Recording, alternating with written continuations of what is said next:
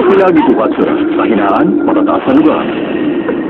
Ang saya siguro kung uugain ko to, no? Ah, tumigil ka! Huwag mong gagalawin yan!